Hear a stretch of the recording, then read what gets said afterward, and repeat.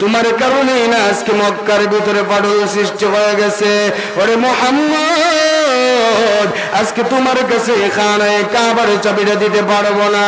আমার নবীজি, ইচ্ছা করলে পারতো উসমানের গায়ে একটা আঘাত করতে, কিন্তু আমার নবীজি এমন কোনো আচরণই করে নাই। আমার আল্লাহ গোটা কুলকানাত সৃষ্টি করল। আসমান, জমিন, লৌহ, কলম নবমন্ডল ভূমন্ডল সৃষ্টি করল। ওই নবী যাইয়া উসমানের কাছে একটু চাবি চায়, ওরে উসমান, দে না ভাই, একটু খানায় কাবার চাবিটা দে। কিন্তু উসমান বলে, আমি তোমাকে দিতে পারব না। আমার আমার যে শুধুমাত্র উসমান কেমন ওরে উসমান আমি শুধুমাত্র খানে কাবার ভিতরে প্রবেশ করব আল্লাহর কদমে দুইটা সেজদা দিব আবার তোর কাছে এই চাবিটা ফেরত দিয়ে যাব উসমান আলহামদুলিল্লাহ জামিয়া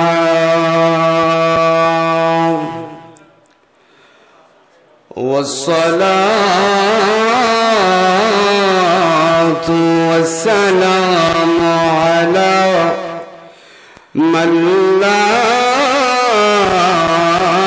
نبي بعد أما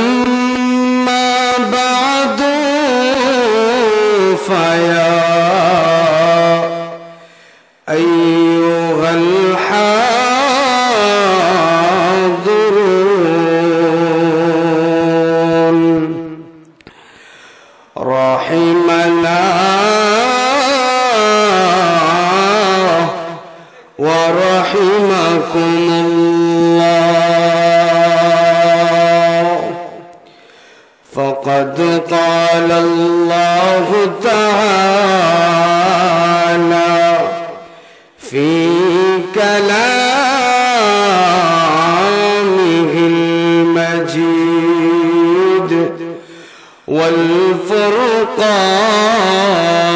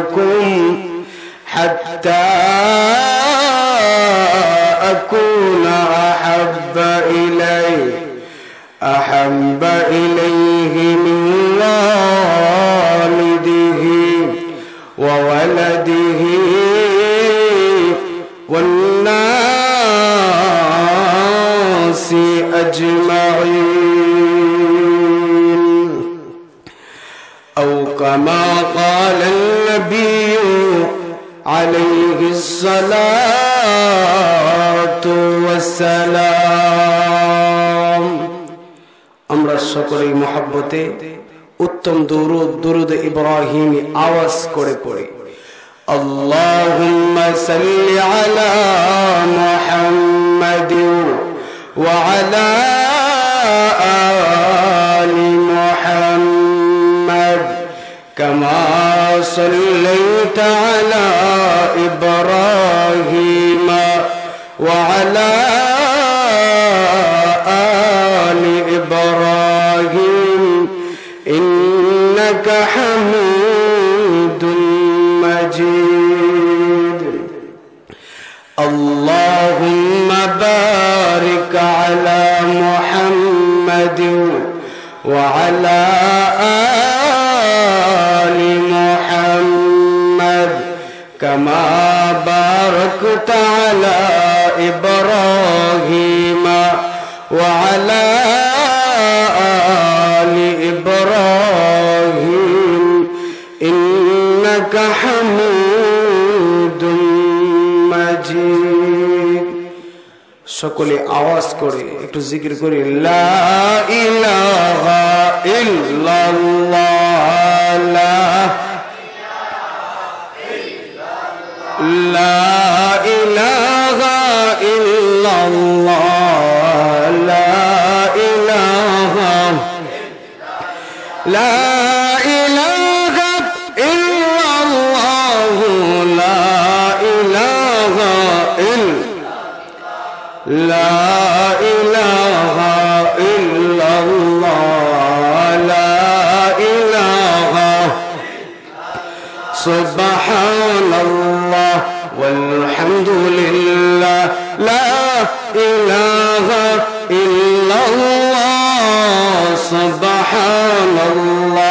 والحمد لله لا إله إلا الله سبحان الله والحمد لله لا إله إلا الله سبحان الله والحمد لله لا إله إلا الله سبحان الله والحمد لله لا إله لا إله إلا الله محمد رسول الله صلى الله عليه وسلم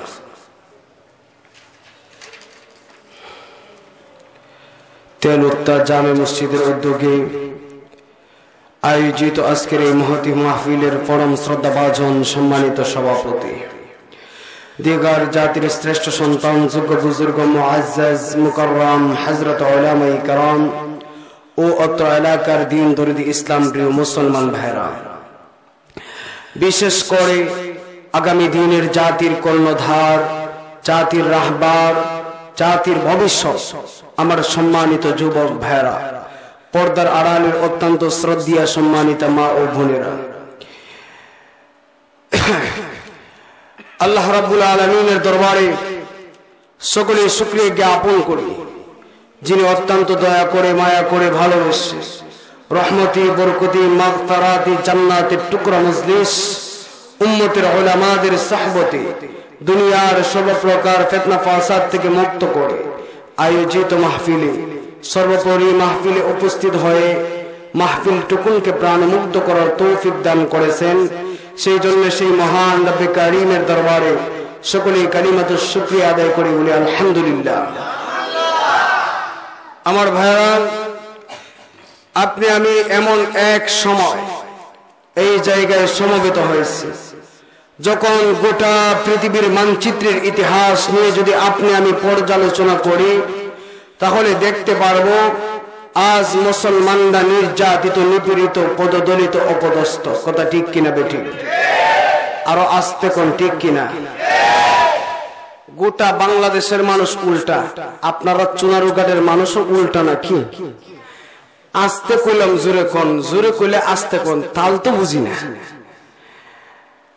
এমন একটা সময় আপনি, আমি এই জায়গায় সমাবেত হয়েছি। যখন গোটা পৃথিবীর মানচিত্রে ইতিহাস নিয়ে যদি আপনি আমি পর্যালোচনা করি, তাহলে দেখতে পারব গোটা পৃথিবীর মুসলমানেরা আজ নির্যাতিত, নিপীড়িত পদদলিত অপদস্থ, এমন একটা সময় ওই তাগতি শক্তির মোকাবেলায় মনে করতে হবে, আজকের এই চুয়ারুগাড়ের মাহফিলটা একটা জিহাদের সমতুল্য কথা, ঠিক না বেঠে? সেই কথা যদি আমরা বিশ্বাস করি, মনোযোগ সহকারে অল্প কিছু সময় আপনাদের সামনে আলোচনা করব ইনশাআল্লাহ। আমি আলোচনায় যাওয়ার আগে দুইটা বিষয় আপনাদের সামনে ক্লিয়ার করতে চাই। নাম্বার ওয়ান, আমি প্রথমত যতক্ষণ পর্যন্ত আপনাদের সামনে আলোচনা করব, ততক্ষণ পর্যন্ত আপনারা আমার সঙ্গে একটু হানা কইবেন। কি কোন রাজি আছেন? হানা বুঝেন হানা বুঝেন। দুই নাম্বার, শুধু হা না বললে চলবে না, কারণ এমন এক সময় আমরা এই জায়গায় সমাবেত হয়েছি। বাতিল শক্তিগুলো যখন ঐক্যবদ্ধ, মুসলমানদের নাম নিশানা চিরতর উৎকাট করে দিবে, তখন ওই বাতিল শক্তির মোকাবেলা করতে দেওয়া অস্ত্রের মাধ্যমে নয় নামই তকবির আল্লাহ আকবরের ধরে যদি উচ্চারণ করেন, তাহলে ওই বাতিল শক্তির মোকাবেলায়, ওই নারী তকবির আল্লাহ আকবরটা হবে একটা অস্ত্রের মোকাবেলায়। তাহলে আলোচনার পাকে যদি নারী তকবির আল্লাহ আকবরের ধ্বনি উচ্চারণ করতে হয়, করতে রাজি আছেন তো ইনশাআল্লাহ তাকবীর আল্লাহু আকবার ইসলাম ইসলাম জিন্দাবাদ আল কোরআনের আলো ঘরে ঘরে জালো আল কোরআনের আলো হযরত মাওলানা শেখ সাইদ আল মান সাহেব জিন্দাবাদ তাকবীর আল্লাহ কবুল করুক জুরকন আমিন। আপনারা যে পারবেন, এটাই তার বাস্তব প্রমাণ।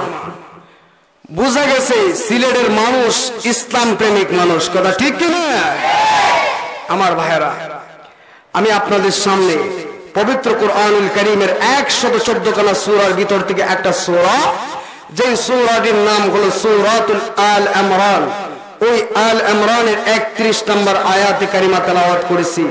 ওই আয়াতে কারিমার ভিতরে আল্লাহ রাব্বুল আলামিন বলেন قل إن كنتم تحبون الله فاتبعوني يحببكم الله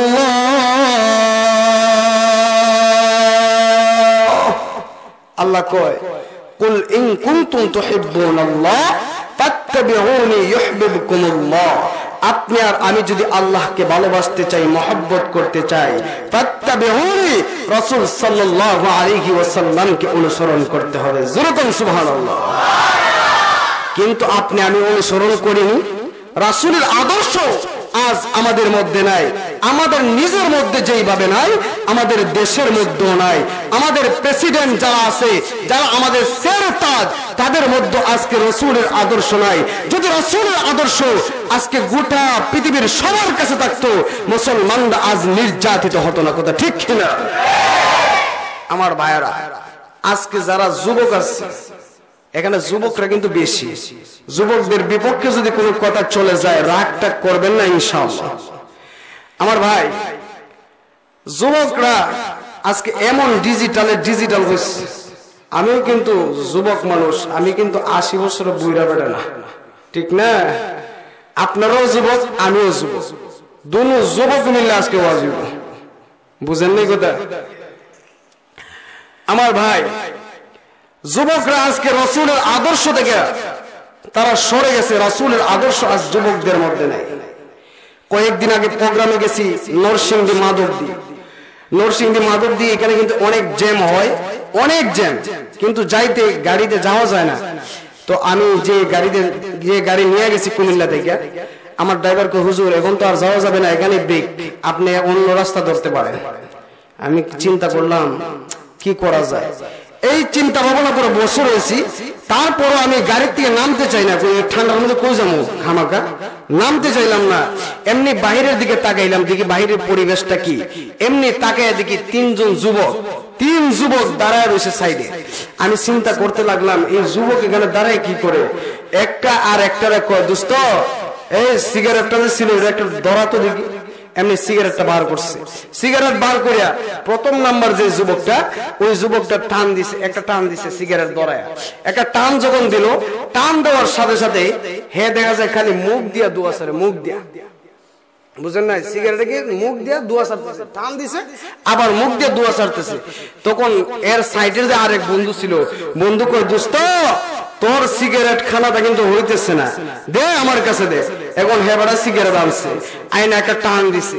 যখন টান দিছে, টান দিয়ে মুখ দিয়েও কিছু ছাড়ছে আবার নাক দিয়েও কিছু ছাড়ছে কই দেখ, এটা হলো সিগারেট সিগারেট খাওয়ার স্টাইল নাক দিয়ে করতে মুখ দিয়ে করতে। এটা স্টাইল তখন তিন নাম্বার যে বন্ধুটা আছে, এই বন্ধুটা কয়, না রে, তোর স্টাইল কিন্তু হয় না চিন্তা করছেন নি? কি স্টাইল বার করতেছে? তোর স্টাইলটা কিন্তু হয় নাই দোস্ত। হয় নাই মানে? কয়, দোস্ত, সিগারেটটা আমার কাছে দে। এমনি সিগারেটটা আবার তার কাছে নিছে। তিন নম্বর দোস্তটা নিয়ে এবার টান দিছে। মুখ দিয়েও সারছে, নাক দিয়েও সারছে। এবার চোখ এইভাবে বড় করতেছে। বড় করিয়া তার মানে বুঝাইলো যে আমার চোখ দিয়েও দোয়া বার করতেছে। আমি এবার টেনশনে পড়ে গেলাম। কুলসুমনি লঙ্গি উঠে দেখ দোস্ত, আমার পিছনের রাস্তায় দিয়ে বাইর এই হলো আমগো সমাজের ডিজিটাল যুবক। আজকে ডিজিটালে এমন ডিজিটাল হয়েছে। আজকে যুবকে দেখা যায়, আমার মসজিদের সভাপতির ছেলে একটা ফ্যান খরিদ করে আনছে। আমি জিগাইলাম কেউ এই ফাঁড়া তেনা করতে লইস হুজুর, এটা ফাঁড়া তেনা না, এটার দাম ছিচল্লিশ হাজার টাকা। চিন্তা করছেন নি? ছিচল্লিশ, এটা আমেরিকার থেকে আনছে। ফাঁড়া জিরানিয়া এটা আমগুবাড়ি যদি না দেয় আমার মা, এটা জিন্দিগি তো, এটা দূরের কথা। এটা নিয়ে ওই দেখ দিলাম পাতিল পাতিল নামায় করে দেয়া। আর হেতে আনছে ওই কত হাজার টাকা দেখি না আজকের যুবকের মধ্যে আদর্শ নাই। মানুষের ভিতরে আজকে রসুলের আদর্শ নাই। না থাকার কারণে আজকে মুসলমানরা জাগায় জাগায় নির্যাতন। আমি আজকে আপনাদের কাছে কিছু দুঃখ শেয়ার না করে যাব না, ইনশাআল্লাহ। এ দোস্ত যুবকদের চরিত্র যদি রাসূলের আখলাক রাসূলের সুন্নাত মোতাবেক হয়ে যায়, এই যুবকরা যদি ভালো হয়ে যায়, গোটা সমাজ ভালো হয়ে যায়, কারণ রসুলের যুগে সাহাবায়ে ছিলেন যুবক অবস্থায়, তারা ভালো হওয়ার কারণে ইসলামের বিজয় আসছে। আজকে বাংলার প্রত্যেকটা যুবক যদি ইসলাম প্রেমিক হয়ে যায়, রসুলকে ভালোবাসে, এরকম যুবক যদি হয়ে যায়, খুদার কসম, বাংলার জমিন আবার মুসলমানদের হাতে আসবে কথা ঠিক কিনা? এগুলো আমরা বুঝতে রাজি না। খালি খালি লাভ দেয় আর জিলাপি যে জায়গায় আছে কাবারু ওই জায়গায় খালি দৌড়ায়। খালি কয় আশেকা রাসুল আশেকা রাসুল আশেকা রাসুলের সংজ্ঞাটা বুঝেছ বেটা, কি আসে? খালি ওই দিক দিয়ে দূরে জিলাপি আছে এই দিক দিয়া। জিলাপি নাই, আমিও নাই।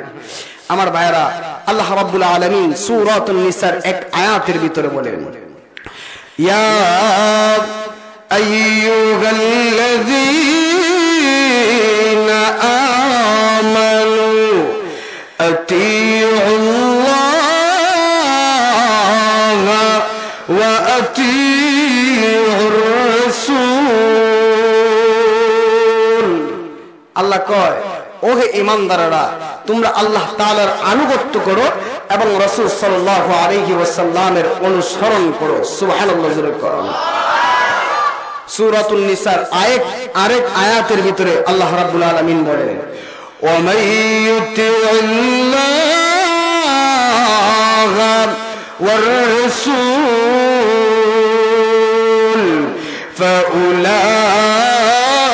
ফাউলাইকা মা আল্লাযী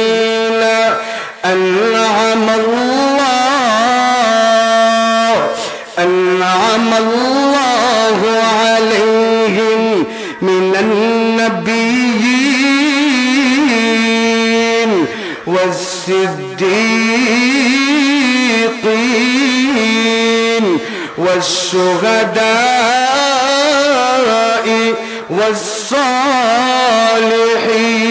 والصالحين আল্লাহ রাব্বুল আলামিন বলেন কোন ব্যক্তি যদি রাসূল সাল্লাল্লাহু আলাইহি ওয়াসাল্লামের আপাদ মস্তকের অনুসারী হয়ে যায় রাসূলের প্রত্যেকটা সুন্নত যদি কোনো ব্যক্তি পালন করে কাল কঠিন কিয়ামতের ময়দানে মহান আল্লাহ ওই ব্যক্তিকে চার প্রকার ব্যক্তির সঙ্গে আল্লাহ তাআলা জান্নাতি বানায় নেবেন সুবহানাল্লাহ নাম্বার ওয়ান নবীন সিদ্দিকিন সালিহিন সুহাদা এই চার প্রকার ব্যক্তির সঙ্গে আল্লাহ তাআলা তাকে জান্নাতি বানায় নেবে। যেই ব্যক্তি রাসূল সাল্লাল্লাহু আলাইহি ওয়াসাল্লামের অনুসরণ করবে, আপনি, আমি ওই চার প্রকার ব্যক্তির সঙ্গে আল্লাহ তাআলা জান্নাতি হতে চাই কি চাই না? আল্লাহ আপনাকে, আমাকে উভয়কে কবল করুক যেরকম আমিন। রাসূলকে কীভাবে মহব্বত করতে হবে, তার একটা দৃষ্টান্ত, নমুনা আপনাদের সামনে উপস্থাপন করি।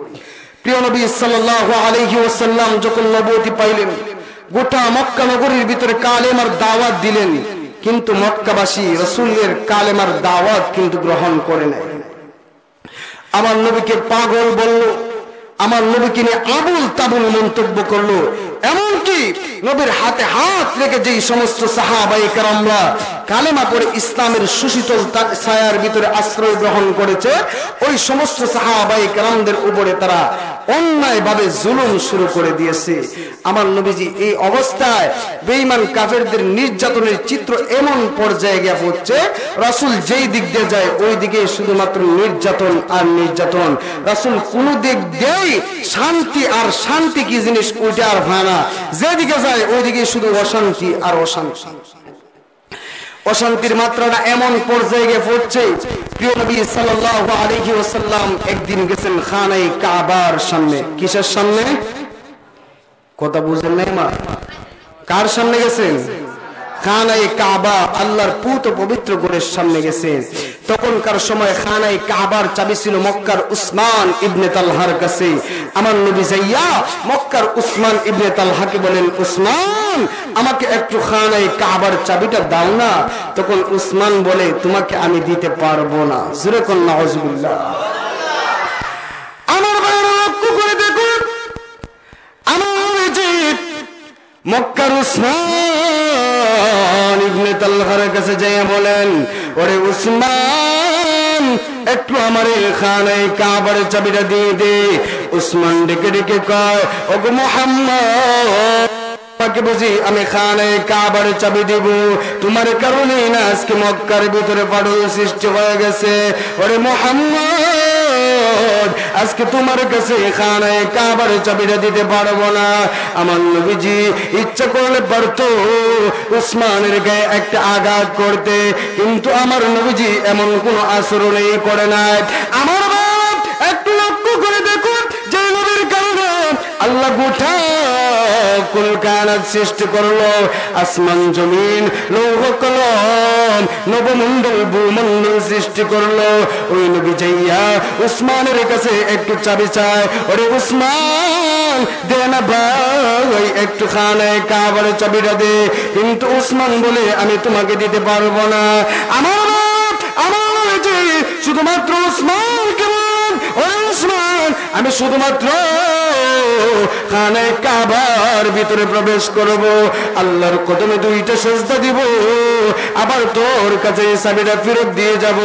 উসমান বলে, যতই তাল বাহানা দেখাও না আমি তোমাকে চাবিটা দিতে পারব না।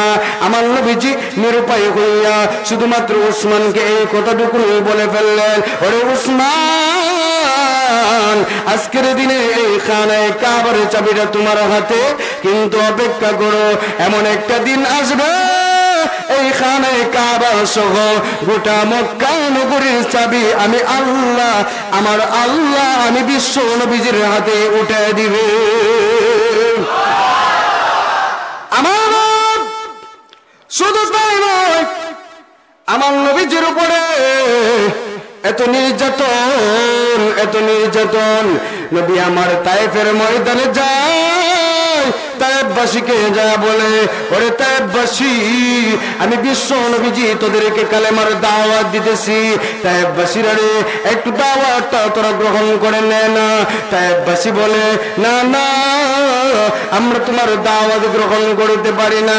আমার নবীজি তাইবাসীদেরকে সুন্দর সাবলীল ভাষায় বলেন, ওরে তাইবাসীরা তোরা ইসলামের সুশীতল চায় আশ্রয় গ্রহণ কর।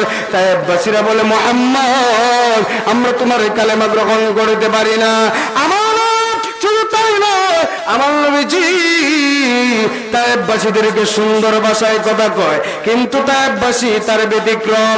আমার নবীকে করে শুধু তাই নয়, ছোট্ট ছোট্ট মাসুম বাচ্চাকে পর্যন্ত আমার নবীজির বিরুদ্ধাচরণ করার জন্য পাঠিয়ে দিল, পাথর দিল আমার নবীজির গায়ে আঘাত করার জন্য। আমি আপনাদের কাছে জানবার চাই, আমার নবী কি পাথরের আঘাতে জড়িত হইয়া কি কালেমার দাওয়াত ছেড়ে দিয়েছিলেন নাকি? না কালেমার দাওয়াত আর জোরদার করেছিলেন। কালেমার দাওয়াত আরও জোরদার বাড়াইছিলেন। আমার নবীজি কিন্তু কালেমার দাওয়াত ছাড়েন নাই। আমার আমার নবীজি বেঈমান কাফের। তারা আমার নবীকে আঘাত করে। আমার নবীজি বলেন, বেঈমান কাফের তোরা আঘাত করবি না। আমি মোহাম্মদের শরীরে এক বিন্দু রক্ত থাকা অবস্থায় আমি কালেমার দাওয়াত থেকে বিস্পা হতে পারি না। বরং আমি মোহাম্মদ জীবনের ফোটা রক্তের বিনিময়ে এই জমিনে আল্লাহর দিন ইসলাম কায়েম করে যাব, সুবহানাল্লাহ। আমার নবীজি বলেন আমার শরীরে এক ফুটা রক্ত টাকা বিনিময়ে আমি এই জমিন থেকে কালেমার দাওয়াতকে বন্ধ করে দিতে পারি না। কালেমার দাওয়াত আমি চালু করে যাব। আমি আপনাদের কাছ থেকে আজকে একটা শপথ নিবার চাই। যে নবীজি রক্ত মাখার দিন, যে নবীজি ওহুদের ময়দানে টাইফের ময়দানে সব জায়গায় রক্ত দিয়েছেন। আজকে আপনি, আমি রক্ত দিতে রাজি আছি নাকি ইনশাআল্লাহ? আমার ভাই নবীজির মক্কার চিত্র এমন খালি নির্যাতন আর নির্যাতন। এই নির্যাতন সহ্য করার পরে আল্লাহ তার নবীকে বলেন নবী গো আর এই মক্কা নগরী নয়। আপনি এই মক্কা চারিয়া মদিনায় হিজরত করেন। জুড়ে মদিনা যখন আমার নবী প্রবেশ করবি মক্কা ছেড়ে মদিনায় হিজরত করিয়া যখন মদিনার মধ্যে প্রবেশ করবে মক্কায় শুধু নির্যাতন আর মদিনায় যখন প্রবেশ করবে, তখন দেখা যায় মদিনার নারী, পুরুষ সবাই আমার নবীকে অভ্যর্থনা দেয় আর বলে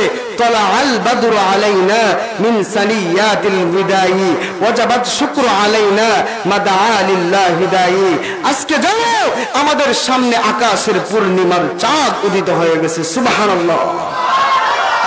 আমি আপনাদের কাছ থেকে জানবার চাই যে নবীজির চেহারা আকাশের পূর্ণিমার চাঁদের ন্যায় মন্দিনার মানুষেরা বলল, এই নবীজির চরিত্রের গায়ে কি কোনো টাচ আছে?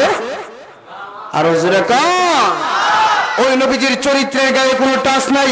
আজকে বাংলাদেশে বেঈমান কাফেররা আজকে আমার নবীকে সন্ত্রাসী বলে, আমার নবীকে নিয়ে গাল মন্দ করে, এমনকি আমার নবীকে বলছে, আমার নবী নাকি একজন সন্ত্রাসী নবী। আমার পরিষ্কার ভাষায় বলতে চাই হে বৌদ্ধের বাচ্চারা, হে নাস্তিক মুক্তাদের বাচ্চারা, তোরা আমার নবীকে সন্ত্রাসী বলেছিস, আমার নবীকে নিয়ে গাল মন্দ করেছিস। যদি আর কোনোদিন এই বাংলার জমিনে ইসলামকে নিয়ে, আমার নবীকে নিয়ে কটূক্তি করোস খোদার কসম বাংলা সরকারি জনতা তোদের দিব্যা কিনে আনতে প্রস্তুত কথা ঠিক কিনা? আল্লাহু আকবার ইসলাম দিন ইসলাম জিন্দাবাদ জিন্দাবাদ আল কোরআনের আলো করে করে চালো আল কোরআনের আলো শাহজালালের তলোয়ার মুর্শিদ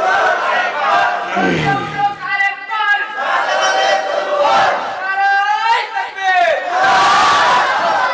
আল্লাহ কবুল করুক যেরকম আমি। আমার নবীজি যখন মদিনায় প্রবেশ করলে মদিনায় যায়ও দেখা যায় শান্তি নাই। মক্কাতে তো এমনি শান্তি নাই।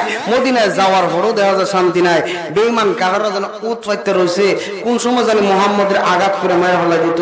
এই অবস্থায় আমার নবীজি মদিনায় আসেন। মক্কার বেইমান কাহাররা আবু জাহেল উদ্বা সাহেবা সবাই ওই জায়গা থেকে হুঙ্কার দেয়। "ওরে, মোহাম্মদ বাইকে গেছে মদিনায়। আমি আপনাদের কাছে জানবার চাই, আমার নবী কি বাইকে গেছেন নাকি আল্লাহ অর্ডার দিছেন? আল্লাহ অর্ডার দিয়ে নবীরে ভাবাইছে হেরাকো ভাগ্যে গেছে মদিনা। এই মদিনা যাওয়ার পরে মোহাম্মদের শান্তিতে তাকবার দিব না। মোহাম্মদের আমরা কতল কেতাল করে ফেলব। এই অবস্থায় এরা যখন উৎপাত শুরু করে দিছে, আল্লাহ মহান আল্লাহ জিব্রাইলে ভাড়ায়া পবিত্র কোরআনে কারিমের আয়াতটা নাজিল করে দিয়া বলে, ও মোহাম্মদ আপনি আর বরদাস্ত করবেন না। আপনি আর সহ্য করতে হবে না। যান, আমি আল্লাহ অর্ডার দিলাম। আপনাকে জিহাদের বিধান দিয়ে দিলাম। আপনি জিহাদের জন্য প্রস্তুত হন। যেরকম আল্লাহ আল্লাহর নবীকে আল্লাহ জিহাদের অর্ডার দিছে। আজকে যদি এই জিহাদের আলোচনা করা হয় কয় এই মূল্য হলো জঙ্গি হেরদর।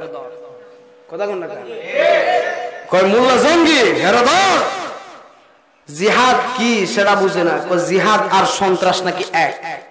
আল্লাহর কসম, এই কোরআন আমার হাতে। আল্লাহর কসম একবার, আল্লাহর কসম দুইবার, আল্লাহর কসম তিনবার। জিহাদ আর সন্ত্রাস কোনোদিন এক নয় কথা, ঠিক কিনা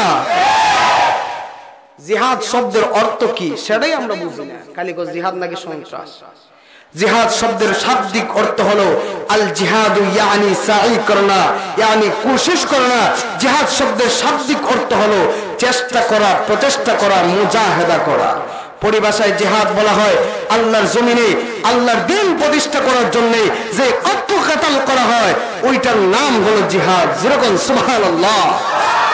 আল্লাহর দিন প্রতিষ্ঠা করার জন্য যে চেষ্টা মুজাহেদা করা হয়, এটার নাম জিহাদ। এটারে আজকে সন্ত্রাসীর সঙ্গে যোগ করে দিয়েছে এটা সন্ত্রাস। আল্লাহর কসম, এটা কোনোদিন সন্ত্রাস হতে পারে না। কথা ঠিক কিনা? আমার নবীজির কাছে জিহাদের আয়াত নাজিল হয়েছে, নবে, উৎপাত শুরু করছে বেঈমান কাফের আবু জাহিল্লা আর সারাসারি না, এরা তো এমনি আল্লাহ অর্ডার দিয়া দিছে। এমনি বদরের যুদ্ধের ডাক আল্লাহ রসুল দিয়া দিছে। বদরের যুদ্ধের সময় আল্লাহ রসুলের কাছে তিন শত তেরো জন সাহাবি নিয়া আল্লাহ রসুল বদরের যুদ্ধের ময়দানে গেলেন। সুবাহ বলবেন না?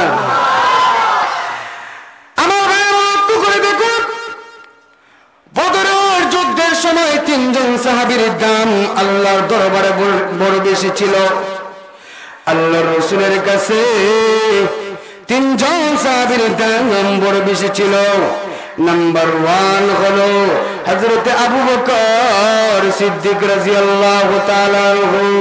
নাম্বার টু হলো হজরত উসমান বিন রাদিয়াল্লাহু তাআলা আনহু।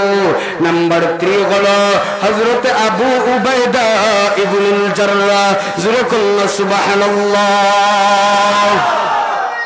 এই তিনজন সাহাবীর দাম বেশি ছিল। আবু উবাইদা ইবনুল জাররাহ, উসমান বিন আফফান, আবু বকর ইবনে কুহাফা, এই তিনজন সাহাবী আল্লাহ রসুলের এই তিনজন সাহাবী ও বদরের যুদ্ধে। হযরত আবু উবাইদা ইবনুল জাররাহ বলেন আল্লাহ রসুল সাল্লাল্লাহু আলাইহি ওয়াসাল্লাম আমাদেরকে নিয়া তিনশত তেরো জনের একটা কাফেলা নিয়া বদরের যুদ্ধের ময়দানে গেলেন। বদরের যুদ্ধের ময়দানে যাওয়ার পরে আল্লাহ রসুল সাল্লাল্লাহু আলাইহি ওয়াসাল্লাম প্রত্যেকটা সাহাবের স্থান নির্ণয় করে দিলেন। কে কোথায় থেকে যুদ্ধ পরিচালনা করবে?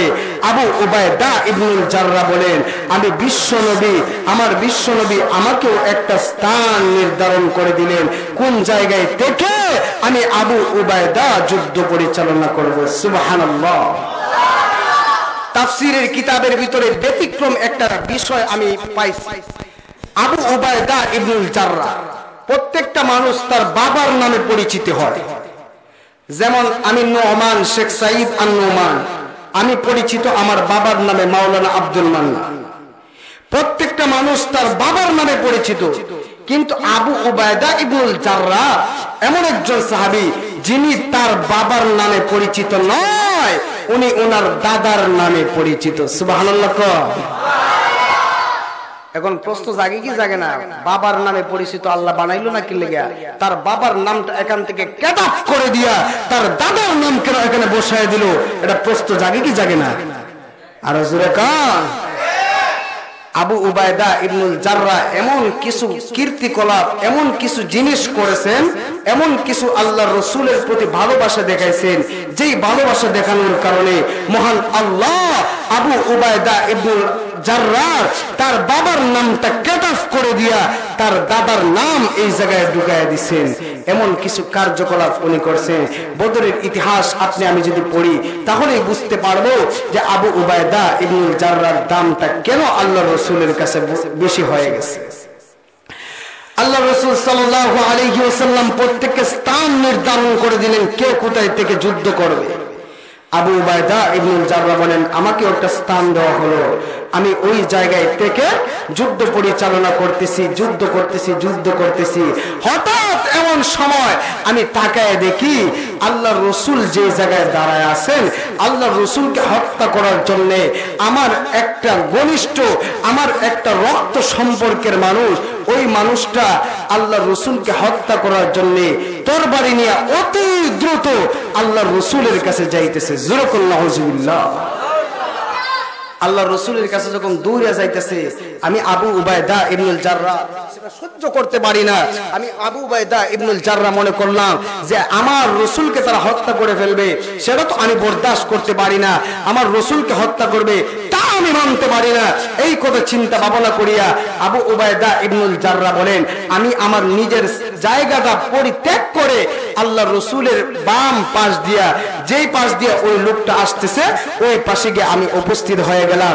লোকটা এবার আমাকে দেখে বল পেয়ে গেল। আমি আবু উবায়দা ইবনুল জাররার সামন থেকে ওই লোকটা চলে গেল। এই লোকটা আর আমার কাছে আসলো না। দ্বিতীয়বার দেখা যায় আমি আমার জায়গায় চলে আসলাম। আবারও ওই লোকটা আল্লাহ রসুলকে হত্যা করার জন্য ওই লোকটা যখন দ্রুতি দ্রুত আল্লাহ রসুলের কাছে চলে যাইতেছে, আমি আবার দৌড়িয়া ওই জায়গায় গেলাম। ওই লোকটা আমাকে ভয় পেয়ে আমার সামন থেকে চলে গেল। এইভাবে তিন, তিনবার যখন এইগুলা করল, আমি এবার চিন্তা করলাম, ওই লোকটাকে আর সুযোগ দেওয়া যায় না। যদি আবার সুযোগ দেই, তাহলে সে আমার রসুলকে হত্যা করে ফেলবে।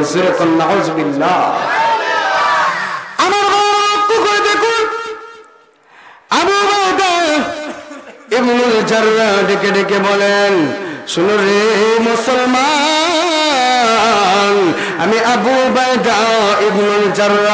এবারে চিন্তা করতে লাগলাম, আল্লাহ রসুলকে ওই লোকটা হত্যা করে ফেলবে, আল্লাহ রসুলের কতল কেতাল করে ফেলবে, আল্লাহ রসুলকে হত্যা করে ফেলবে। এই তো আমি এই চিন্তা ভাবনা করিয়া তাড়াতাড়ি করে আল্লাহ রসুলের কাছে চলে গেলাম। আমি চিন্তা করলাম, একবার তাকে সুযোগ দিলাম, দুইবার সুযোগ দিলাম, তিনবার তাকে সুযোগ দিলাম, চতুর্থবার আর তার সুযোগ দেওয়া যায় না। এইবারে আমি চিন্তা করলাম, তাকে আমি হত্যা করে ফেলব। এই চিন্তা আমি আমার তরবারিটা যখন তার ঘাড় বরাবর, মাথা বরাবর আনলাম, এমনি তাকে দেখি আমার হাতের তরবারিটা কে যেন নিয়ে গেছে, নিয়ে ওই লোকের মাথার মধ্যে মঞ্জুরে আঘাত করছে। ওই লোকের মাথাটা তিরিশ থেকে চল্লিশ হাত দূরে গিয়া পড়ে গেছে আমার বাপ আবু বাবা এমনি ডেকে ডেকে বলেন আমি আঘাত করতে চাইলাম, কিন্তু আঘাত তো আর করতে পারলাম না। কে যেন ওই লোকটাকে আঘাত করে ফেলছে। আঘাত করার সাথে সাথেই দেখা যায় তার মাথা আলাদা হয়ে গেছে। মাথা তিরিশ থেকে চল্লিশ হাত দূরে পড়ে গেছে। আর তার দেহটা এই জায়গায় পড়ে গেছে। এমনি করে যুদ্ধ যখন শেষ হয়ে গেল, যুদ্ধ শেষ হওয়ার পরে আল্লাহ রসুল সমস্ত সাহাবাই বললেন, ও আমার সাহাবিরা, তোমরা কে কোথায় সমস্ত বেমান কাফেরদের লাশ একত্রিত করো। এমনি দেখা যায়, সত্তর জন বেমান কাফেরদের লাশ এক জায়গায় জমা করা হলো। আমার সত্তর জন মানুষের লাশ এক জায়গায় জমা করার পরে এমনিতেই তাকায় দেখা যায়, সত্তর জনের মাতার ঠিক আছে, কিন্তু একটা মানুষ দেখা যায়, তার দেহ আছে, কিন্তু মাথা নাই। আমার রসুল আবার বলেন, কে গো? এই সাহাবিরা কে? তাড়াতাড়ি করে দৌড়িয়া যাও। তার মাথাটা কই তার মাথাটা তোমরা বিশ্রায় নিয়ে আসো, তার মাথাটা বাহির করে নিয়ে আসো। এমনি সমস্ত কেরামরা দৌড়িয়া যায় দেখে একটা মাথা, একটা মস্তক পড়ে আছে। ওই মাথারা যখন নিয়ে আসলো, ওই মাথারা নিয়ে আসার পরে ওই মরা দেহর সঙ্গে লাগায় দিল। মরা দেহর সঙ্গে লাগায় দেওয়ার সাথে সাথে এমনি তাকে দেখা যায়, ওই লোকটা আর কেউ নয়। ওই লোকটা হলো আবু উবাইদা ইবনুল জাররার পিতা। আমার আমার রাসূল চিন্তায় পড়ে গেলেন। এই লোকটার মাথাটাকে আলাদা করে দিল গো। এই লোকটার মাথাকে আলাদা করে দিল, এমনি চিন্তায় পড়ে যায়। আল্লাহ রসুল এইবারে সবাইকে আদেশ করলেন। ও আমার সাহাবিরা, তোমরা কে? এই লোকটার মাথা, এই লোকটার কেল্লা উড়াই দিয়েছ আমাকে একটু বলো। এমনি আবু উবায়দা ইবনুল জাররাহ দুটা হাত বাড়ায় দিছে। আল্লাহ নবী গো, আমি আবু ইবনুল ইবনুল জাররা আমি আমার পিতার মাথা আলাদা করে দিছি। আল্লাহ রসুল টেনশনে পড়ে গেছে। এই, তুই তা তোর বাপের মাথার কাটলি কি লেগে? তোর বাবার কেল্লা উড়াই দিলি কা? ক? এমনি আবু উবায়দা ইবনুল জাররা কয় ইয়া রাসূলুল্লাহ আমি চাই না যেই কুলাঙ্গার পিতা তার রসুলকে বাঁচতে দেয় না, যেই কুলাঙ্গার পিতা তার সন্তানের রসুলকে হত্যা করতে চায়। আমি আবু উবায়দা ইবনুল জাররা চাই না ওই বাবার দেহ, ওই বাবার শরীর, ওই বাবার অস্তিত্ব এই জমিনে থাকুক। এই জন্য আমার রসুলের সম্মানার্থে আমি আমার বাবার মাথা কেল্লা উড়ে দিয়েছি। যেরকম আল্লাহ চিন্তা করে দেখছেন রসুলের মহাব্বতে নিজের পিতার মহাব্বত নাই, নিজের পিতাকে হত্যা করে ফেলছে, নিজের পিতাকে কত্ম করে দিছে। কেন? একমাত্র রসুলের মহাব্বতে কথা ঠিক কিনা? আজকে আপনি আমি শপথ গ্রহণ করতে হবে। আজকে যদি আমার দলের লিডার, আমার দলের নেতা, আমার দলের এমপি, আমার দলের মন্ত্রী, আজকে যদি গোটা পৃথিবীর মানচিত্রে যে কোনো বেইমান কাদের আজকে আমার নবীকে নিয়ে কটুক্তি করে, ইসলাম নিয়ে কটুক্তি করে, খুদার কসম বাংলার মুসলমান, তার বিরুদ্ধে জেহাদ করতে প্রস্তুত কথা ঠিক কিনা?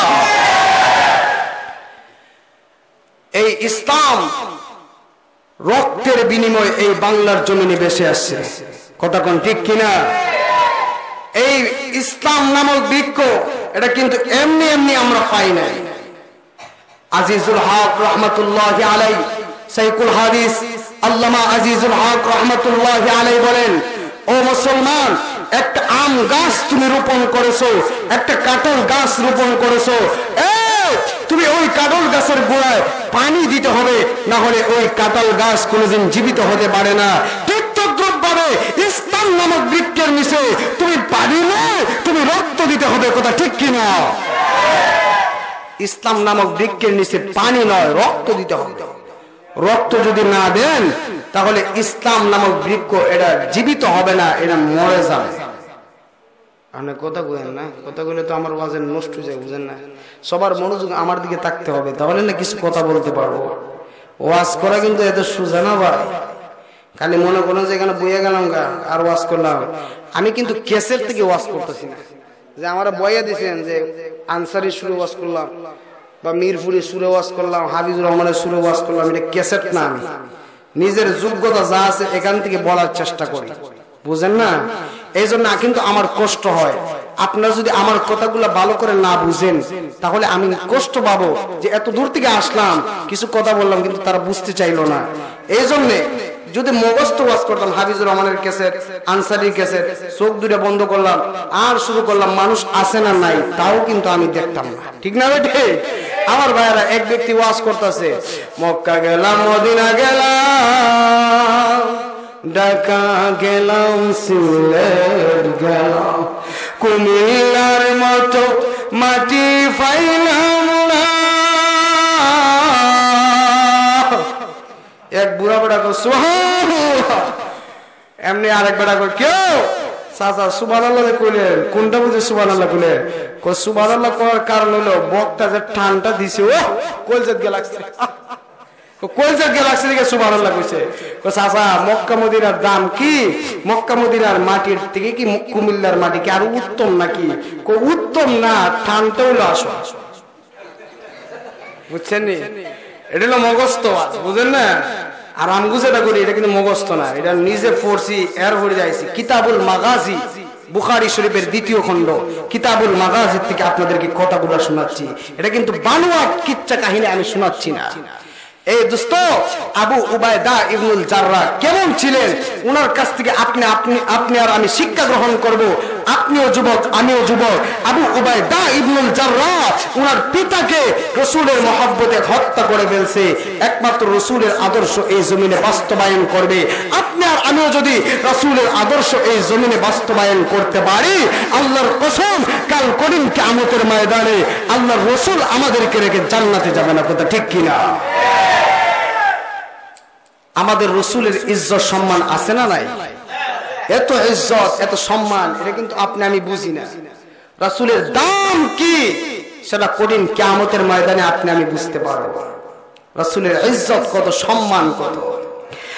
আমার ভাইয়েরা, লক্ষ্য করে দেখুন, কাল করে কেমতের ময়দানে যখন হাসরের মাঠটা কায়েম হয়ে যাবে, ওই অবস্থায় সমস্ত মানুষেরা মাথার মগজগুলো গলে গলে পড়তে থাকবে।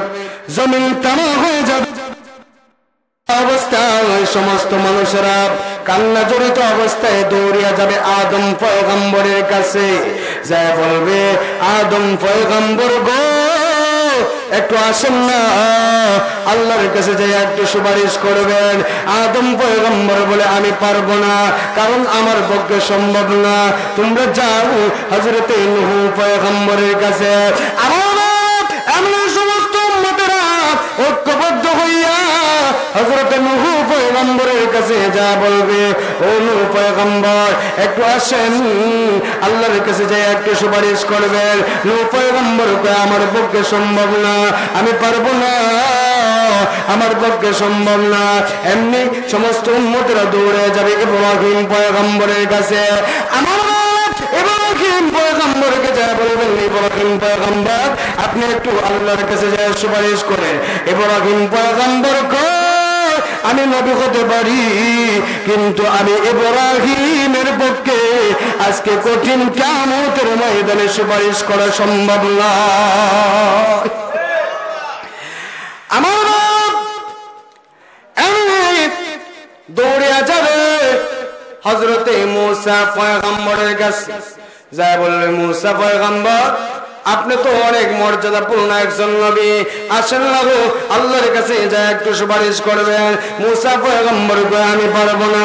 এমনি দৌড়ে যাবে হজরতে ঈসা পয়গম্বরের কাছে। ওই ঈসা পয়গম্বর, আপনি একটু আল্লাহর কাছে যা সুপারিশ করেন। ঈসা পয়গম্বর আমার পক্ষে সম্ভব না। আমার সমস্ত পয়গম্বর আমার পক্ষে সম্ভব না। এমনি সকলে দৌড়িয়া যাবে হজরতে বিশ্ব নবী রহমাতুল্লাহ আলমিনের কাছে। আল্লাহর দোস্তের কাছে যা বলবে, আল্লাহ নবী গো, এই কঠিন কেমতের ময়দানে আপনার কাছে আসলাম। আপনি একটু সুপারিশ করেন না। আল্লাহর কাছে যাই একটু সুপারিশ করবেন। আল্লাহ নবী বলেন, এই কঠিন কেমতের ময়দানে কোন নবী পয়গম্বরকে আল্লাহ এই পাওয়ার দেয় নাই, এই পাওয়ার শুধুমাত্র আমি বিশ্ব নবীকে দেওয়া হয়েছে। আমার শুধু তাই নয়, আল্লাহ রসুল বলেন, লিকুল্লি মুস্তাজাবা। এক লক্ষ চব্বিশ হাজার পয়গম্বরকে আল্লাহ একটা মুস্তাজাব দাওয়ার শক্তি দিয়েছেন। যে দোয়াটাই করা হবে ওই দোয়াটাই কবুল করা হবে। সমস্ত পয়গম্বরকে দেওয়া হয়েছে। সব পয়গম্বররা দুনিয়ায় থাকাকালীন অবস্থায় ওই দোয়াটা শেষ করে ফেলেছে। কিন্তু আমি বিশ্ব নবীজি, ওই দোয়াটা শেষ করে নাই। ওই দোয়াটা রেখে দিয়েছি। কাল কঠিন কেমতের ময়দানে আমার উম্মত যখন বিপদে পড়ে যাবে, আমি তাদেরকে সুপারিশ করে আল্লাহর তোর জান্নাতি বানায় দিব। ওই দিন আমি এই দোয়াটা রিজার্ভ করে রেখে দিছি। যখন আমার উম্মত বিপদে পড়বে, তখন আমি আমার উম্মতের জন্য সুপারিশ করে করে তাদেরকে জান্নাতি বানাবো। সুবহানাল্লাহ। সবাই জিকির করে না, সামনের দিকে আগান। লা ইলাহা ইল্লাল্লাহ।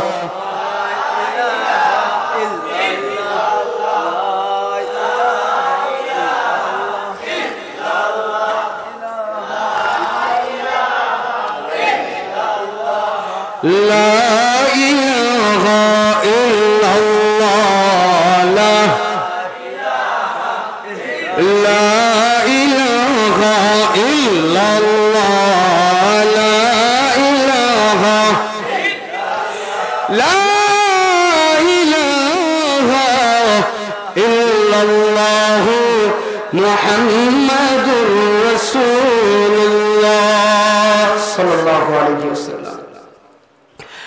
আল্লাহ রসুল কয়, লিকুল্লি নবীন দাওয়াতিন মুস্তাজাবা।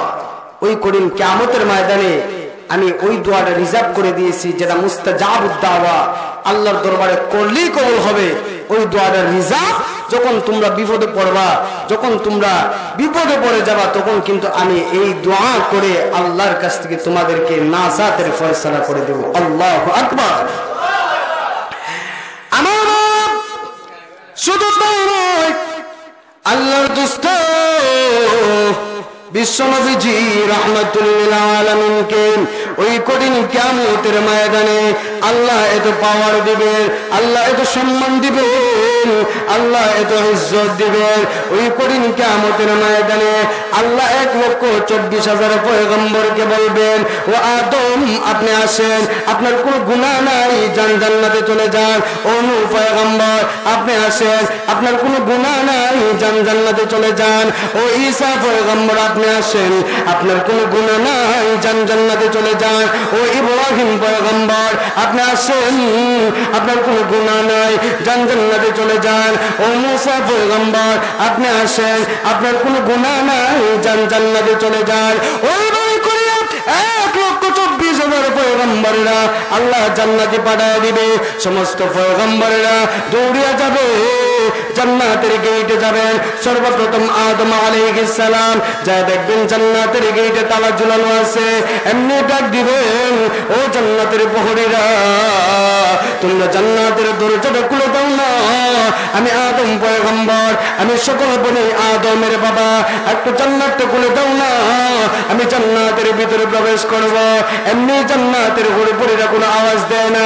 এমনি করে আসবেন পয়গম্বর আইসা দাস দিয়ে বলবেন, ও জান্নাতের বহরীরা তোমরা জান্নাতের দরজাটা খুলে দাও না, আমি জান্নাতের ভিতরে প্রবেশ করব। এমনি করে কোনো জবাব দেয় না। এমনি করে আসবেন হজরতে ইব্রাহিম পয়গম্বর আইসা ডাক দিয়ে বলবেন ও জান্নাতের বহরীরা, তোমরা জান্নাতের দরজাটা খুলে দাও না। আমি জান্নাতের ভিতরে প্রবেশ করব। এমনি জান্নাতের বহরীরা কোনো আওয়াজ দেয় না।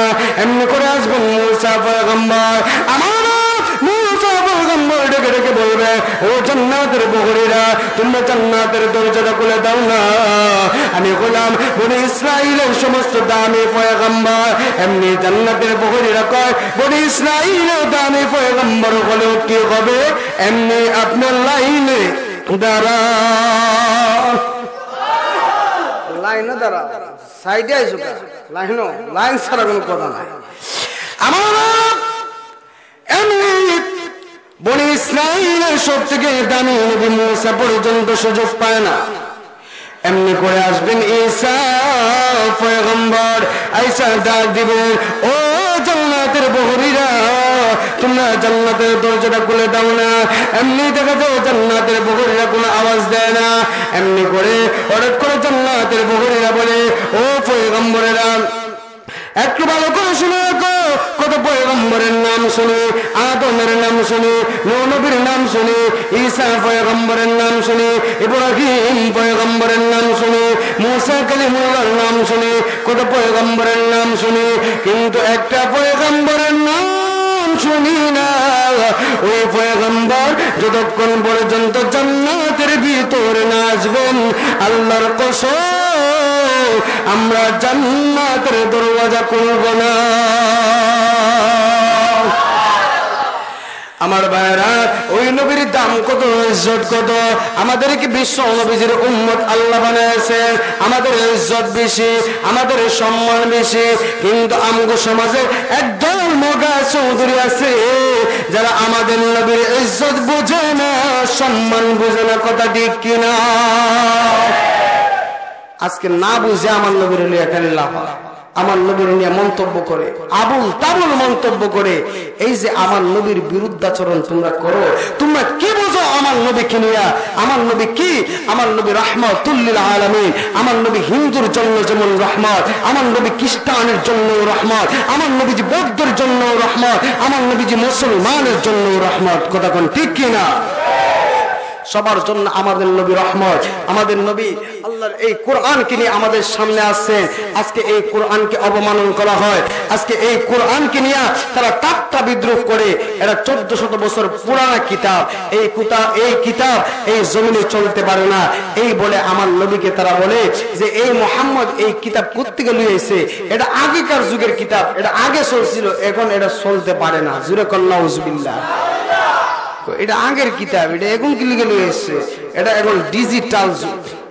ডিজিটাল যে আল্লাহ আগের এই যুগ দিছিল, এই আল্লাহ এই ডিজিটাল যুগ দিছে। এই ডিজিটাল যুগ তো আল্লাহই দিছে। আল্লাহ ইচ্ছা করলে হারে না, এই ডিজিটাল হালটা উল্টা একটা বানাইতো। পারে না? এই জন্য দেখবেন কয়েকদিন পর পরে ভূমিকম্প বাড়িওয়ালা চল্লিশ তলা বিল্ডিং এর মালিক, এ দেখা যায় বারাটি আর আগে দৌড়ায় কয়, হায় রে, শুরু গেছে গা। আল্লাহর শিবালিল্লা শুরু হয়ে গেছে দূর হে। নাইলে এখন জায়গা ফলে আমরা কাজ আমরা শেষ করে দেবো দৌড় দে।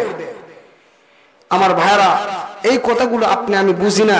এই জন্য আমাদের যত মূল কথা, এই কোরআনকে যদি আপনি আমি ফ্লো করি, রাসুলের প্রত্যেকটা সুন্দর যদি ফ্লো করি, রাসুলকে যদি আপনি আমি মহব্বত করি, তাহলে আপনার আমার ইজ্জত সম্মান বাড়বে ছাড়া কোনোদিন কমবে না। কথা ঠিক কিনা? রাসুলের সুন্নতকে যারা আটকায় ধরছে, মজবুত করে ধরছে, তারাই দেখা যায় আজকে উপরে উঠছে। আর যারা রাসুলের আদর্শকে নিচে নামায় দিছে, তারাই দেখা যায় আজকে পদদলিত অপদস্থ হয়ে গেছে। যারা রাসুলের সুন্নত মানে নাই, তারাই দেখা যায় আজকে নিচের দিকে দাবিত হয়ে গেছে। একজন মন্ত্রী ছিল আমগো বাংলাদেশের, কিছুদিন আগে ইন্তেকাল করছে। এই মন্ত্রী কইতো যে আমি হিন্দু না মুসলমান। না নওয়াজুল্লাহ বলবেন না। ও হিন্দু না মুসলমান না। তার মানে আমি গরু না গাডিও না। তুই সেনাস কোন দিক দিয়া? কথা বুঝেন নাই? তুমি যদি গাবিও না হো দেখাও না হো তুমি মুতো কোন দিক দিয়া? তাই আমি কোনো দিক দিয়ে মুততাম পারি না। এখন যে মরসস তোর জানাজা কোন মূল্যায় দিব? আর আমার মতো বেজুইতে মূল্য যদি হইরা লাগা, এ করব যে আমার চাকরি জায়গা আমি বাড়ির যাই। কথা কোন, ঠিক কিনা? আর কিছু মূল্যায়ন আছে যে ঠাকার পাগল, ওই যে গজল গায় মাফির খালি গজল গায়ে আছে না একদম মহদিনার। আছে না নাই? ওই যে আছে নাম ধরার দরকার নাই, আছে। যারা গান গায় ইতার মূল্যায়নে যদি কিছু দেন, যে দশ হাজার টাকা হুজুর আইয়ান জানাজা ফরাবেন এতে এমনি দূর দিব। চল জানাজা ফরাই কিছু টাকা মামু মারে দিলাম। বুঝেন না? আর যারা হক পন্থী ওলামাই কেরাম, তারা কোনোদিন বাতিলের সামনে মাথা আনত করতে পারে না, কথা ঠিক কিনা? কারণ আমরা হক পন্থী ওলামাই কেরাম কথা কোন ঠিক কিনা? আমাদের শরীরে, আমাদের শরীরের অঙ্গে অঙ্গে কাসেম নাম তুবির রক্ত বয়েছে। আমাদের শরীরের মধ্যে গহর পরি হুজুরের রক্ত। আমাদের শরীরের মধ্যে বাংলার জিন্দা অমর নাস্তিক মুরতাদের জম, মুফতি আমিনের রক্ত আছে। অতএব আমরা বাতিলের সামনে কোনদিন মাথা আনত করতে পারি না। আজকে তারা বাতিলের সামনে মাথা নত করে নেয়। ফুটকা মূল্য আছে কিছু। এটা দাওয়াত খাওয়ালে ঘুরায় রাস্তা রাস্তায় দাওয়াত কোন বাড়ি আছে? আর কোন বাড়ি মরছে? যে হরানি খাইতো তিন দিনে হরানি, চার দিনে উইতা খাইবে লেগালে ঘুরায়। ওই মূল্যায়নের জন্য আজকে সমস্যা। এই মিয়া, আপনি আমার এখানে ওয়াজ করার জন্য আনছেন, কারও গিবত গাওয়ার জন্য আনেন না কথা কোন, ঠিক কি না? আজকে ওয়াজের মঞ্চ দেখা যায় গিবতের মঞ্চ হয়ে গেছে। হাফিজুর রহমান সিদ্দিকী একজন বক্তা আছে বাংলাদেশের উজ্জ্বল নক্ষত্র। এই হাফিজুর রহমানকে নিয়ে কিছুদিন আগে একটা ভিডিও ভাইরাল হয়েছে। এক বক্তা হেলিকপ্টার দিয়ে এসে কুমিল্লা। আইসা হেতে ওয়াজ করে, কয়, হাফিজুর রহমানে হেতের সামসার বৌরলিয়া বাইকে গেছে গা। আরেক বেটার বৌরলিয়া বাইকে গেছে। এই ব্যাকল, তোরে কি এই বেটার বউ বাইক গেলে গেছে? এটা ওয়াজ করবি তোরে গেছে? হাফিজুর রহমান কাজের বেডির লোকে ঘুমায়। না কোন বেডির লোকে ঘুমায়? এটা ওয়াজ করলে তোরা আছে। ও একটা বন্ড আছে, এনায়েতুল্লাহ আব্বাসী। সে একটা বন্ড সে একটা প্রতারক। সে আমার রসুলকে নিয়ে গাল মন্দ করে।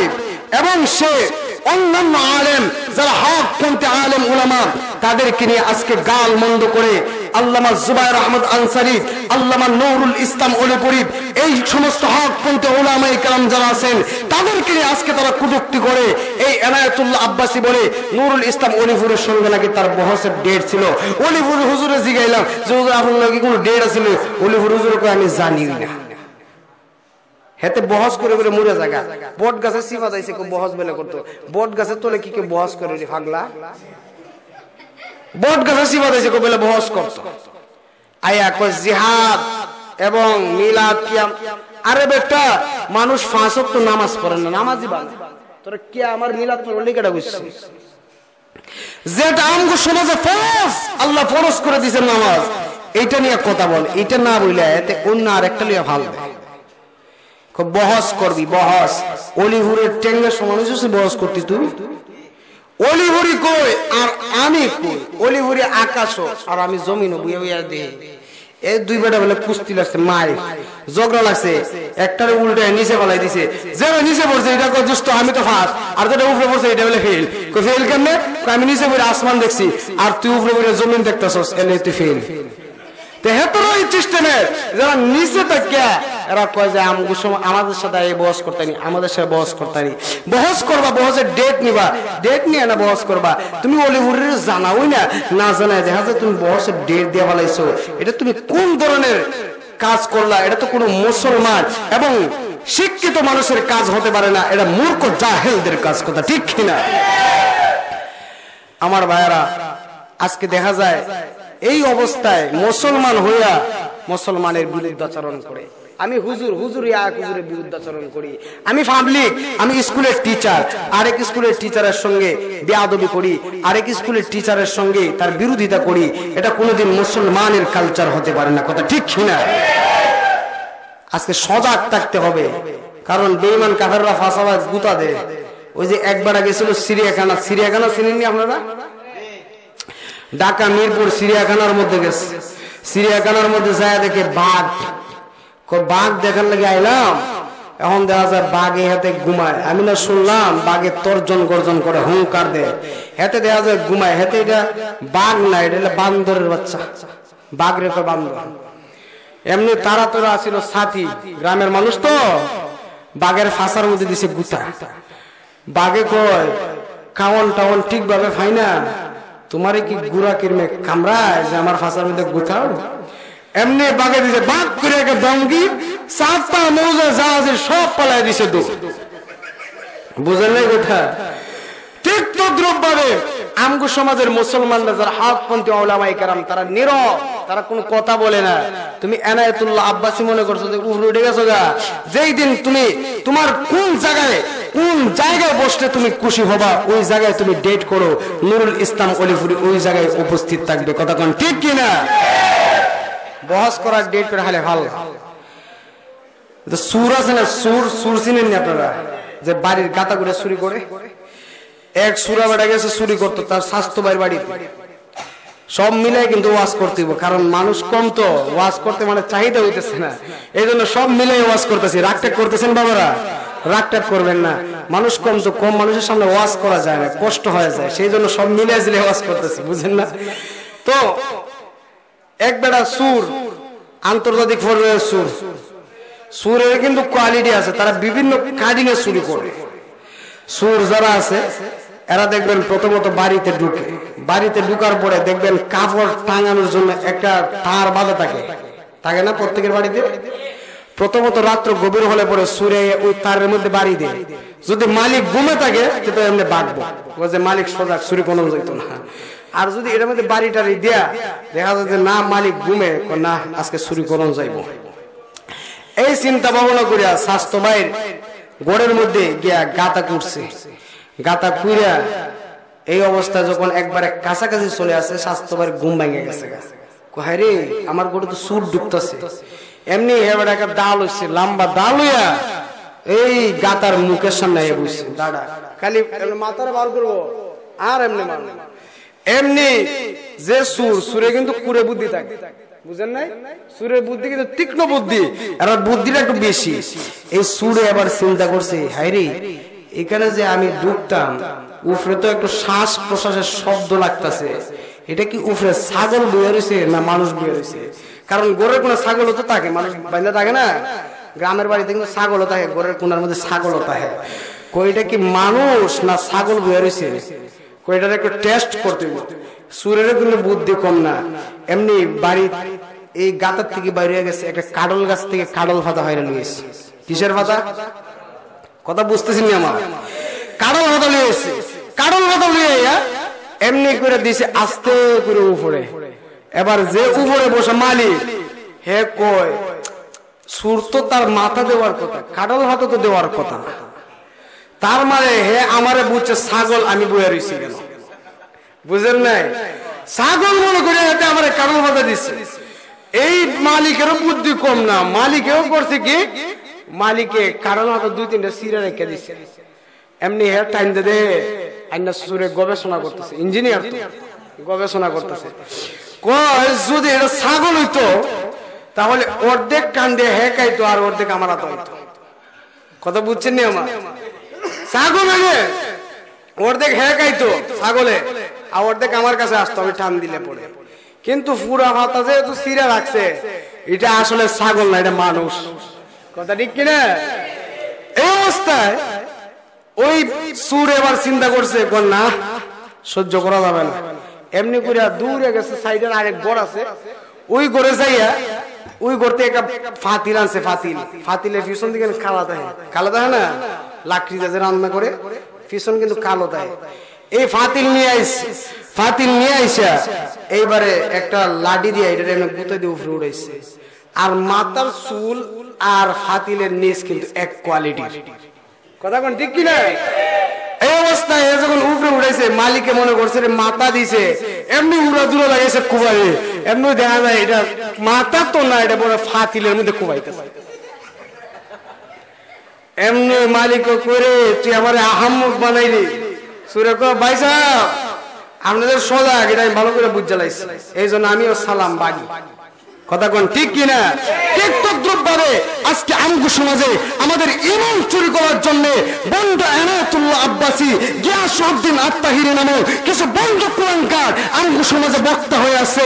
যারা আমাদের হকপন্থী ওলামাই কালামদেরকে নিয়ে আজকে কুরুক্তি করে, হকপন্থী ওলামাই কালামদেরকে আজকে তারা গাল করে, এমনকি আল্লামা নুরুল ইসলাম অরিপুরি নিয়ে তারা কুরুক্তি করে অরিপুরিকে গাদ্দার পর্যন্ত তারা বলেছে, আহমদ শরীফকে তারা গাদ্দার বলেছে পরিষ্কার ভাষায় বলতে চায়, যদি আর কোন আলমকে তারা গাল মন্দ করে, খোদার কসম, বাংলা শুরু করে যন্ত্র তাদের জিব্বা ঠেলে আনতে প্রস্তুত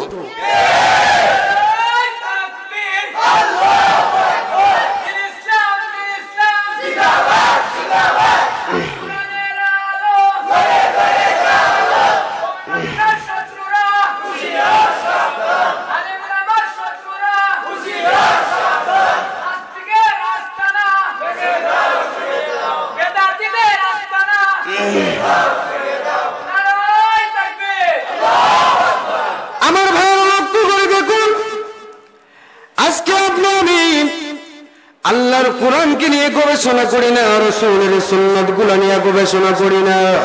আজকে যদি আপনি আমি রসুলের সুন্নত নিয়ে গবেষণা করতে পারতাম, রসুলের আদর্শ নিয়ে গবেষণা করতে পারতাম, তাহলে কিন্তু আজকে বেমন কাফেররা আমাদেরকে নিয়ে গাল বন্ধ করতে পারতো না।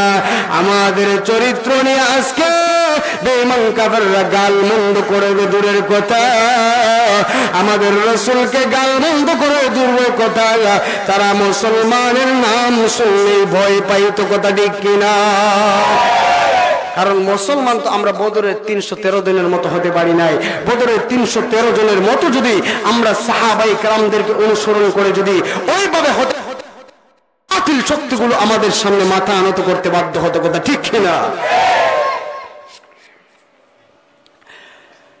হুজুরকে নিয়ে আসেন? কালেকশন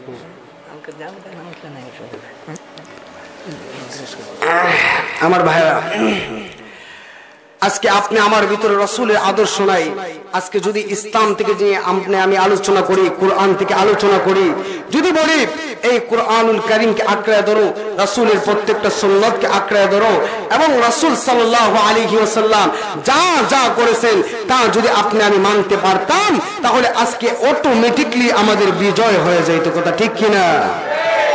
আমার ভাইরা, তাবুকের যুদ্ধের ময়দান যখন কায়েম হয়ে গেল আল্লাহ রসুল সাল্লাল্লাহু আলাইহি ওয়াসাল্লাম তাবুকের যুদ্ধের ময়দানের এলান যখন করে দিলেন, এমনি সমস্ত মুসলমানের ভিতরে হইচই আরম্ভ হয়ে গেল।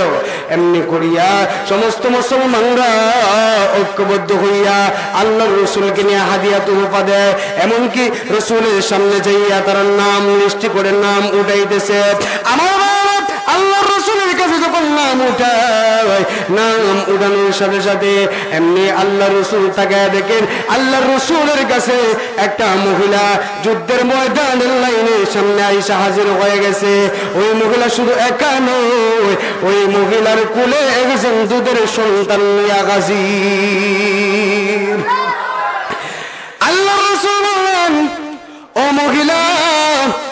দুধের সন্তান নিয়ে তুমি কেন যুদ্ধের ময়দানে আসছো গো মহিলা?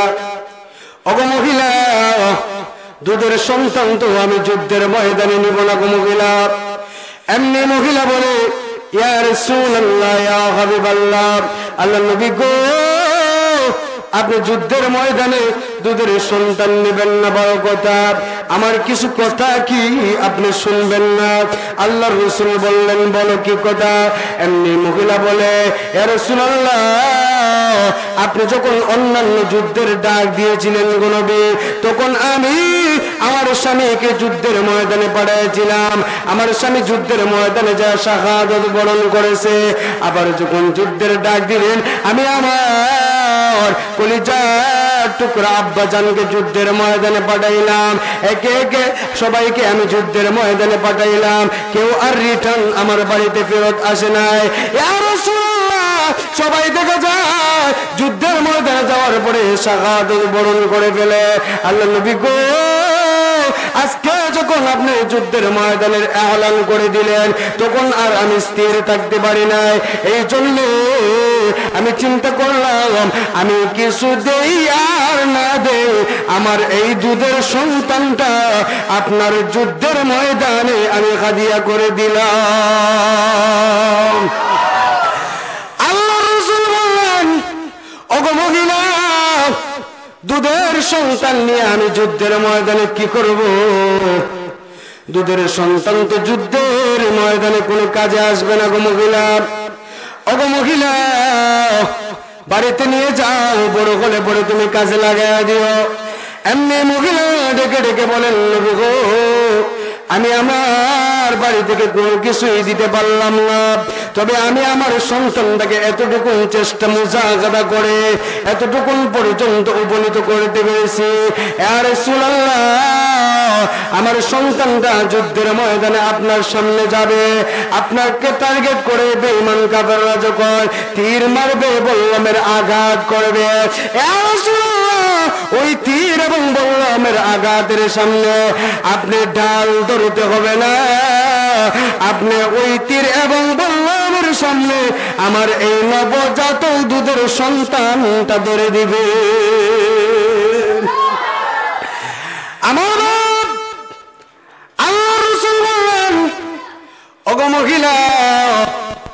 এই দুধের সন্তান তো যুদ্ধের ময়দানে কাজে রাখবে না, নিয়ে যাও। মহিলা এইবারে কান্না করে করে তার সন্তানকে নিয়ে বাড়িতে চলে যাইতেছে।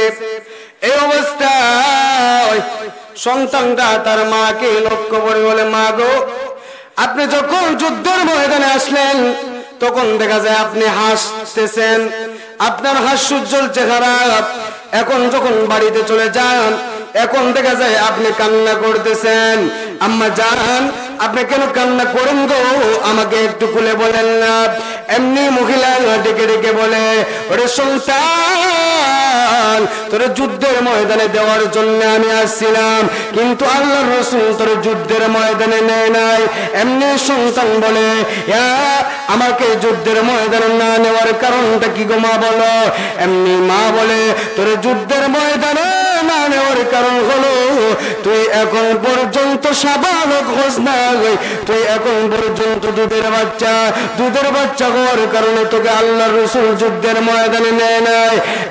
এই মহিলার সন্তান ডেকে ডেকে ডেকে বলে, মা গো আমাকে কি আবার আল্লাহ রসুলের কাছে নিয়ে যাওয়া যাবে না? এমনি বলে হ্যাঁ নিয়ে যাব। এমনি যখন আল্লাহ রসুলের কাছে নিয়ে যাওয়া হলো, এমনি সন্তানটা আল্লাহ রসুলকে বলে আমার দুইটা প্রশ্নের জবাব না দেওয়া পর্যন্ত আমি এই জায়গা থেকে তিল পরিমাণ নড়ব না। নবজাতক সন্ধান কি করে শুনছেন? আপনি যতক্ষণ পর্যন্ত আমাকে দুইটা প্রশ্নের জবাব না দিবেন, আমি কিন্তু সর্বনা আল্লাহ রসুল বলেন, সুলতান তোর কি দুইটা প্রশ্ন? আমাকে একটু তাড়াতাড়ি করে বল। এমনি সন্তানটা বলে আমাকে কি যুদ্ধের ময়দানে নিয়ে যাওয়া হবে না? রাসূল তোর যুদ্ধের ময়দানে নিয়ে যেতে পারব না।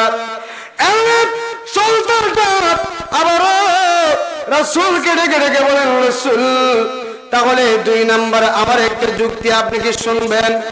আল্লাহ রসুল বলেন তোর যুক্তিটা কি? আমাকে একটু খুলে বল। এমনি সন্তানটা ডেকে ডেকে বলে ও রাসূলুল্লাহ আমার যুক্তিটা হলো, আমার মা যখন চুলার মধ্যে আগুন ধরায়, চুলার মধ্যে আগুন ধরানো অবস্থায় আমার মাকে আমি দেখেছি, আমার মা সর্বপ্রথম চুলার মধ্যে আগুন ধরানোর সময় বড় বড় লাকড়ি গুলো কিন্তু আগে দেয় নাই, আমার মা ছোট্ট ছোট্ট লাকড়ি গুলো আগে দিত। আর সুনাল্লাহ যখন বেশি আগুন ধরে ফেলতো, তখন কিন্তু বড় লাকড়ি গুলো ধরে ফেলতো। আমার ওই সুলতানটা আল্লাহ রসুলকে আবার বলতেছে, রসুল, আপনি আবার একটু ভালো করে শোনেন। এই যুদ্ধের ময়দানে আমির হামজাকে আগে পাঠায়েন না, উমরকে আগে পাঠায়েন না, আলীকে আগে পাঠায়েন না। আমার মতো ছোট্ট নবজাত সন্তানকে আগে পাঠাইয়া যুদ্ধের ময়দানে আগুনটা ভালো করে লাগাই দেন। আগুনটা যখন ভালো করে লেগে যাবে, তখন উমর আলী উসমানকে পাঠায় দিয়ে